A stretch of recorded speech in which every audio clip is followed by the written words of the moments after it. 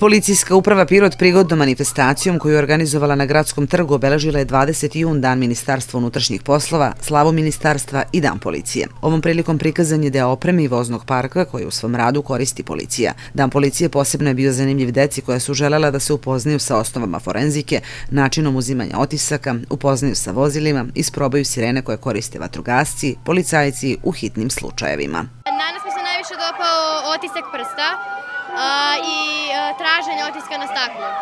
Jesi imala prilike ovo da vidiš do sada? Pa nisam imala, ovo mi je prvi put. To sam ušla i u kola i da sam radila otisak i baš jako, jako zanimljivo.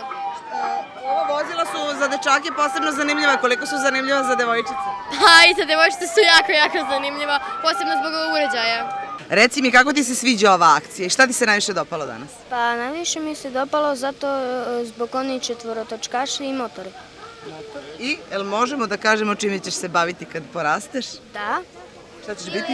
Ili vojnik ili milicajac. Policijska uprava u Pirotu ima dugu tradiciju. Do 1993. godine radila je pod nazivom SUP, odnosno Sekretarijat unutrašnjih poslova. Upravu danas čini nekoliko sektora. Policija opšte nadležnosti, saobraćajna, kriminalistička policija i sektor za vanredne situacije. Na području policijske uprave Pirot radi i granična policija. U sektoru kriminalističke policije rade kriminalistički inspektori i forenzičari. Iako se dugo mislilo da su ovi poslovi rezervisani za muškarce, danas je slika drugačija. Sve više pripadnica lepšeg pola koje rade u policiji. Ima ih u svim službama, jedino ne u vatrogasno-spasilačkoj jedinici.